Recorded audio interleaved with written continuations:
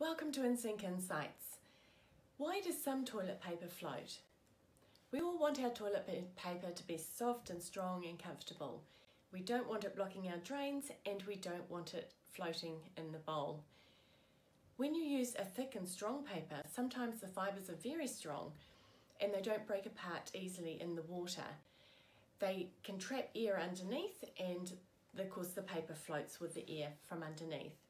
On the other hand, if you've got a cheaper paper, they are often made with glue to bulk them up and make them thicker. That glue holds the paper together and stops them flushing away. If you're having trouble with your drains, we would always recommend a recycled paper.